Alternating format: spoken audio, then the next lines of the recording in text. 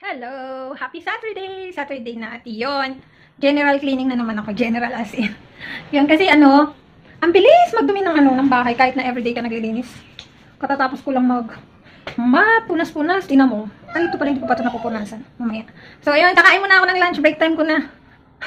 Break time muna. Wala na akong energy na ubos na. Kakaloka, nakaka-addict yung Coin Master. Hindi ko pa kasi alam yung technique doon sa Coin Master. Sayang. Isa na lang ako eh. Wala na kasi akong shield. Sayang. Pag na inatake ko, patayin na kasi wala akong wala na akong coins. Naubusan ako ng coins.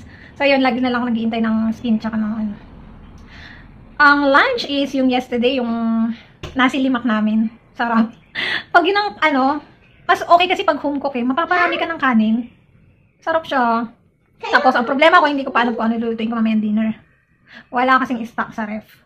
Hindi pa ako namamalengke. Kakatamad kasi. Kakatamad mag-isip. Isda na lang yung naiwan dyan eh. Yung tilapia. Isda na naman, isda na kahapon. Kaya nag-iisip ako, ano ba lulutuin namin gabi? Yung madali lang. Iniisip ko nga, ano eh, pasta.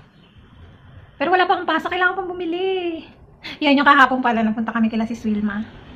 Short time nga lang eh, kasi ano, late rin kami nakapag, ano, nakapunta. Mga 4 na kami nakarating. Tapos, siguro mga 2 hours lang yun. 2 hours to 3 hours. Kahit pa paano, ang dami rin nangyari. Okay. Clean ko daw yung phone niya. Hello, ka. So yun, nag-enjoy kami kahapon. Kung hindi lang nag tantrums yung mga ba, yung anak ko, si Adam, okay lang eh, matatagalan pa eh. Nag-iyakan. Yung anak ko umiyak, naging narti talaga.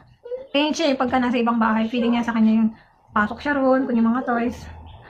Eh, kahit hindi naman niya, ano, papasukin niya. Tsaka, iiyak siya, wala siya pakialam sa bagay bata. So, ayun, kain muna ako yung kakainin ko lunch is yung tirang pagkain kahapon.